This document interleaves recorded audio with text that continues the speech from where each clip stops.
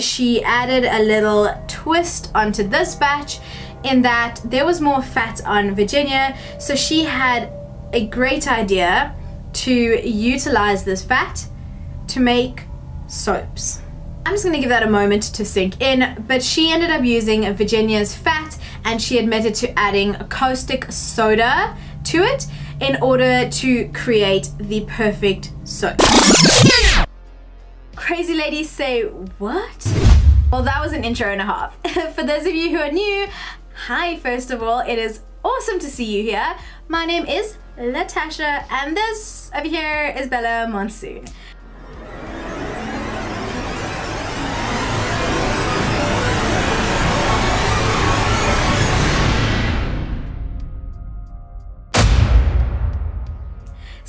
This is the first of a super exciting series which I have been working on for a while now and I am so excited to bring it into Volition because this is an idea I've been wanting to do for quite some time and this is combining one of my passions which is makeup of course with one of my big interests which is true crime and understanding why people do what they do so I am so excited to combine these two together and bring you the most disturbing the most thrilling the most strange and the most bizarre stories that you might never have heard of, but I guarantee you will never forget. Trust me, today's story is mind-blowing. So I also feel it's pertinent to give a slight little warning here. I will be giving trigger warnings if content is a little bit too graphic or something that you don't really want to listen to or while you are eating or just ate or would like to keep your food where it's supposed to be yeah, I will be sure to give a warning before that kind of content and just in general, a general warning. So I'm just gonna go ahead and do that. And uh, listen.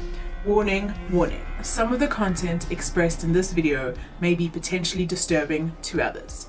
Viewer discretion is advised. Okay, now that that's out the way, let us get on to the really weird stuff. So today's story takes place in the absolutely beautiful country of pizza and love and all things magical, Italy. So in 1894, Leonarda Cianciulli was born.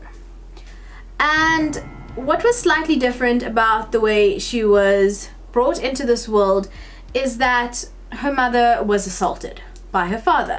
But unfortunately, the time and the era that Emilia was living in didn't really afford her the opportunity to to leave him or to do much else other than get married. And so this was how Leonarda was conceived and this is the family that Leonarda was brought into. So as you can imagine, the relationship between Mariano, her father, and Emilia, her mother, was not great. When she was born, her mother held a lot of resentment towards her and wasn't very warm in the least. And this could all be understood in terms of how Leonarda was conceived. So Leonarda's childhood lacked a lot of warmth and she grew up feeling like a burden to her mother. So these feelings expressed themselves in Leonarda attempting suicide twice before she was even 18 years old. She tried both times to commit suicide by hanging, but the first time the rope broke and the second time someone found her and took her down. So I'd like to believe if she was living in this day and age, her story would have turned out a little bit different because now there is a bigger emphasis on the importance of mental health. Yes, we're not where we should be, but there's a lot more gravity placed on the importance of mental health education, mental health awareness, and especially focusing on the mental health of our youth.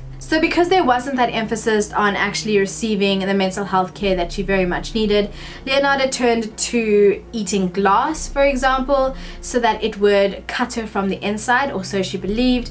And during this time, she also became incredibly superstitious. And this is something that kind of foretold what was going to happen later on in her life and that kind of set her path. So she felt extremely lost in the situation she was in and extremely vulnerable and so she sought out the help of fortune tellers, of clairvoyants, of palm readers to give her some clarity on what was going on in her life and how to deal with it. So during one of her earlier sessions with a fortune teller, she was told that she would have many, many children, but they would all die before she did. And so this was something that kind of always lived at the back of her mind, even though she was not ready to have kids yet and she hadn't tried to conceive yet. So during this time, whilst she was growing up, as I mentioned before, her relationship with her mother was incredibly strained. Her mother was incredibly cold towards her. Treatment was further intensified and made worse by the fact that her father passed away and her mother remarried and had more children whom she treated completely different to how she treated Leonarda. So this made a bad situation even worse because now Leonarda was forced to be surrounded by her half siblings who were treated as children should be with love and kindness and warmth and she was still antagonized and treated coldly by her mother. So in 1917 she was around the age of 24 she met Raphael and she decided to get married. Now, this would have been all good and well, except this was not the man that her mom wanted her to marry.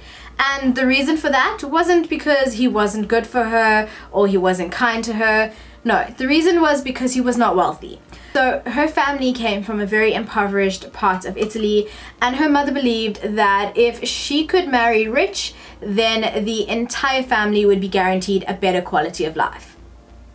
So at this point, Leonarda was just exhausted. She was tired, she was gatvol, as we'd say in South Africa. And she was like, no, this is not gonna happen. I'm, I'm not doing it. I'm sick and tired of you it's not happening. And her mother, of course, responded in not the greatest of ways. And she began to chastise her. She told her that she would need to leave now. She was a disappointment. And she cursed her and her very existence. So in 1921, which was about four years later, she moved to the south of Italy with her husband, of course, and they both got jobs there and they were happy for a while until she was arrested for fraud. Bummer. So after she got out of jail, she did her time. Did the crime, did the time. And she got out of jail and they decided to move. They moved to another little town and much like the rest of her life, bad luck just seemed to plague her and follow her existence. And an earthquake struck it destroyed their entire home and it killed a couple thousand people as well in that town and they moved again. This move, however, was set to be their final move, thank goodness, because we all know how stressful and crappy moving is. So this is where Leonarda started to put down her roots and she opened up a little natural, holistic, crafts store and she also started telling fortunes and she would tell her customers that she could make their dreams come true. She thought she was a genie or something. No judgment, just saying. So this fortune teller told her that if she wanted her next baby to survive, she would have to make an offering and, and communicate with the dark spirits. So Leonarda believed her and she did what was expected and lo and behold her next baby survived. So what is known about Leonarda is that she became pregnant 17 times. 10 of those children unfortunately passed away during infancy and the other three were miscarriages and so only four of her pregnancies actually ended up in a healthy child that made it past their youth.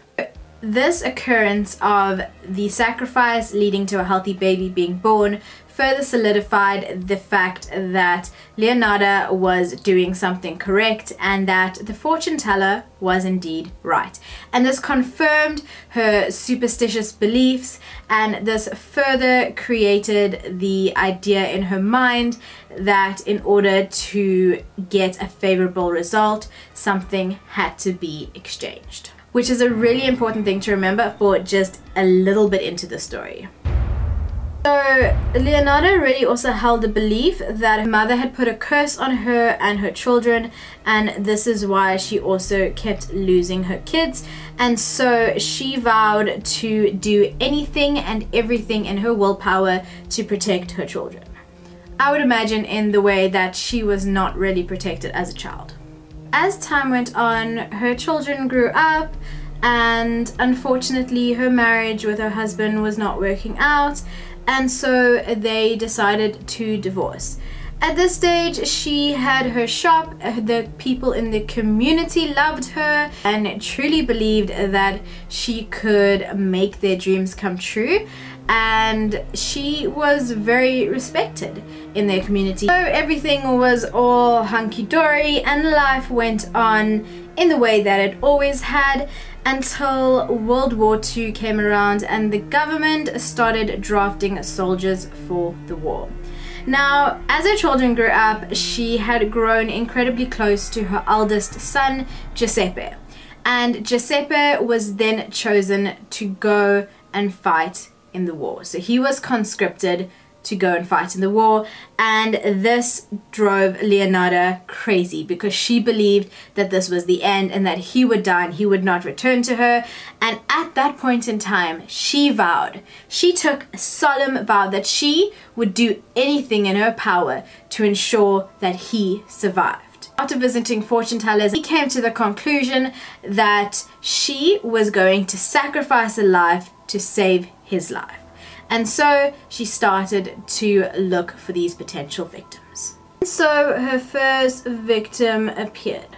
And her first victim was a 73 year old lady by the name of Faustina Setti. So Faustina approached Leonarda because she was incredibly lonely and all she ever wanted in her life was to find a companion. And so Leonarda convinced her that she could of course make her dreams come true. But there was going to be a price. What was the price, you might ask? Five gold coins, 10 shillings, the equivalent of a golden goose egg? No. Her price was for Faustina to sell everything that she owned and to give all of her worldly belongings to Leonarda and then to further write letters to her entire family saying that she had left to go and be with the man of her dreams, the man that she was going to spend the rest of her life with, and that they should not contact her. So Leonarda told her that there was a man waiting for her. Leonarda had sorted it all out and he was in Croatia. Faustina went ahead and she was so excited and she sold up everything. She got all of her affairs in order. She wrote all her letters. So she came to visit Leonarda on the night before she left, giddy with excitement and Leonarda fixed her drink, which was drugged, and promptly knocked her out. And this is where I would like to add my trigger warning. There is graphic details expressed in the following clips. So do with it what you may, but I just wanted to let you know. So after Faustina was drugged, Leonarda then bludgeoned her to death. After she was dead, Leonarda then decided to take a boning knife and to cut her body into nine pieces. But wait, there's more.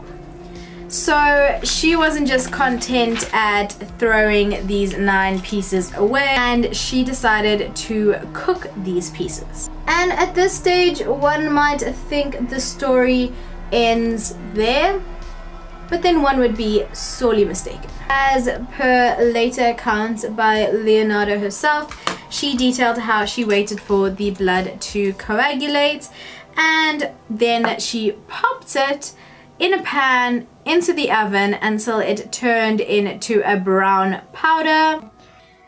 But wait, there's more.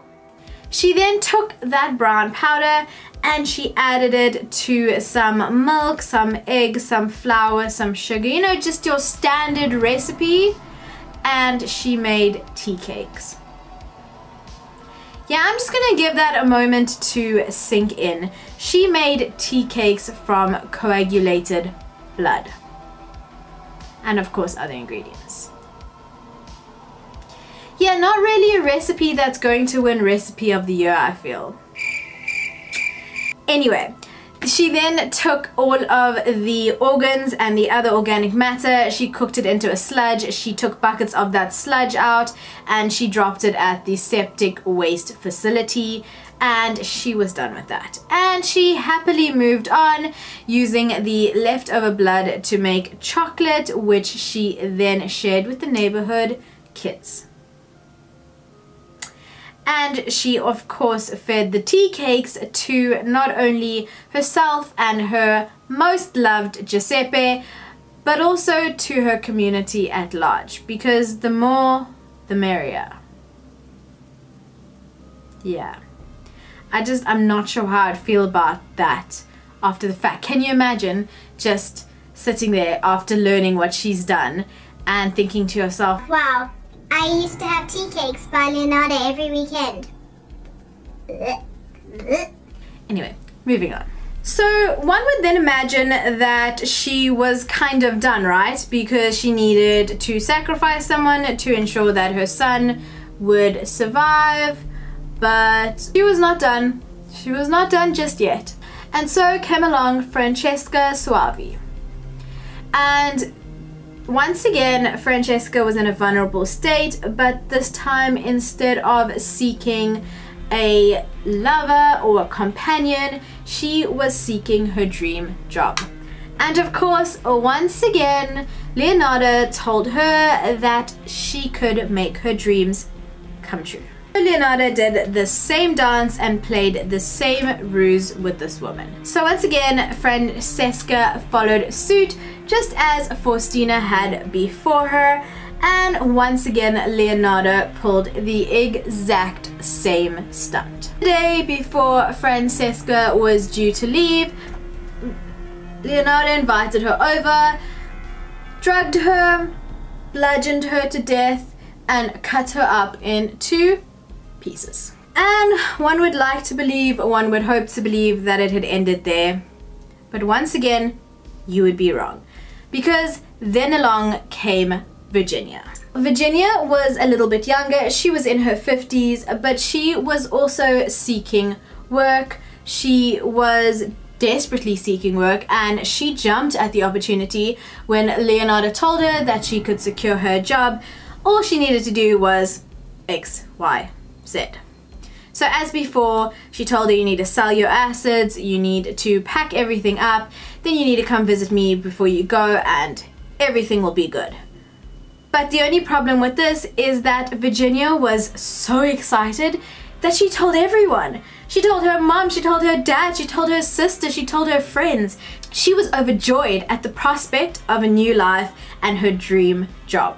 So Virginia did what Leonarda said and she pitched up the day before she left. And once again, Leonarda drugged her and killed her by bludgeoning her to death, whereafter she cut her into pieces and proceeded to cook them.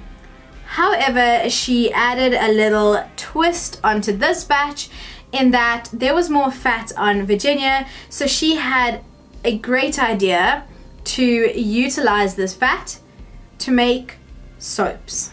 I'm just gonna give that a moment to sink in, but she ended up using Virginia's fat and she admitted to adding caustic soda to it in order to create the perfect soaps.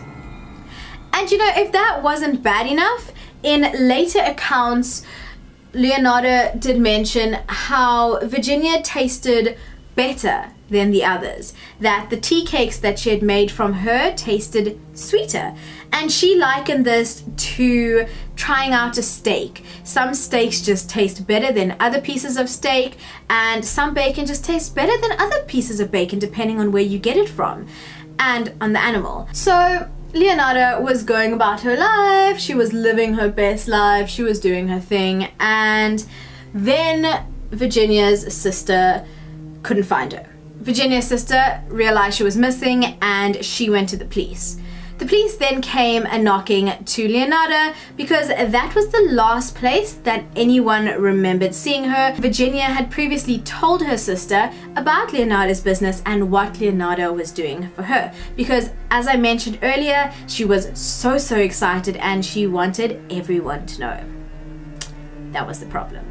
And so the police came a knocking and Leonarda sat down with them. She invited them in. She expressed her sadness and her concern that this poor, poor woman had gone missing and she would do anything she could to help them.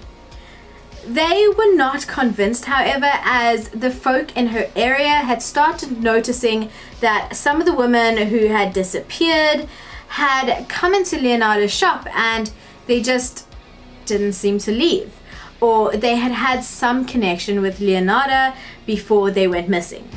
And so the police unfortunately didn't have any evidence, so they couldn't really do much about the situation.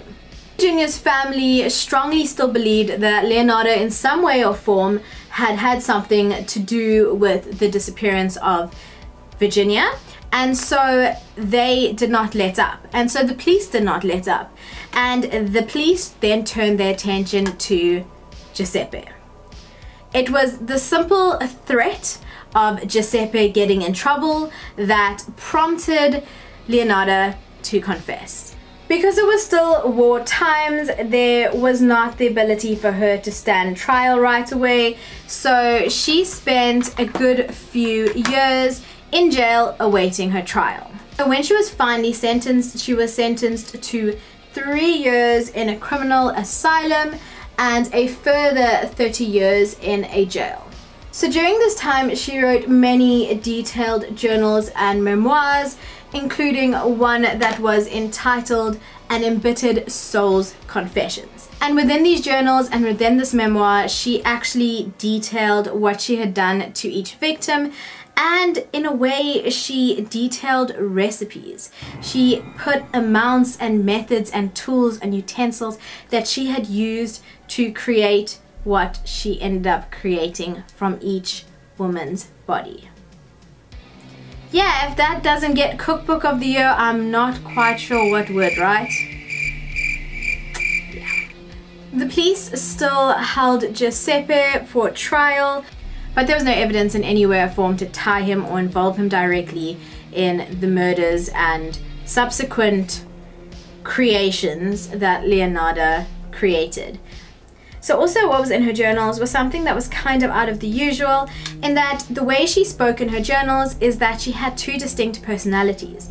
The one personality was how she referred to herself in her business form with her own, with a different nickname. She used two different nicknames to kind of separate these personalities. And the one nickname referred to her in her business and in her daily life and in the way that everyone understood her. And the other nickname, which was a nickname that her birth father had given her, was how she described herself when she was committing the killings.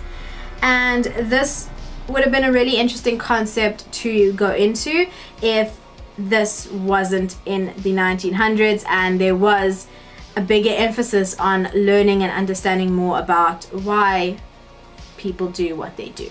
So Leonarda went on to actually live until the age of 76 where after she died of natural causes. She passed away in those three years that she was in the criminal asylum after she had served her 30 years in jail. So, my last little tidbit of information for you today. To this day, there is a museum in Rome, and this museum houses some pretty interesting things. So, some of these interesting items include pots that Leonarda used to cook the bodies of her victims as well as her deboning knife and other utensils. Yeah, so I'm not sure if any of you watching this video have actually been to this museum or perhaps you live in Italy or Rome and you've heard of this museum, but I'd be interested to know what else is actually in this museum. I think it probably houses a lot of pretty weird things that we wouldn't even guess. I mean, before I heard this story, to be honest, I've seen hundreds and hundreds of serial killer documentaries, true crime stories, and I've not once, not once heard of someone making soaps and tea cakes out of bodies. Not once. Like ornaments, necklaces, yeah, I've heard that, I've seen that, but not once tea cakes, like specifically tea cakes and soap. Mind blown. And as I was doing research and as I was looking into the story more and more, it just got weirder and weirder and stranger and stranger and more gruesome. So if you have any ideas or stories you'd like me to check out for my next videos and do some research on, then please leave them down in the comment section or alternatively you can DM them to me on any of my social media channels.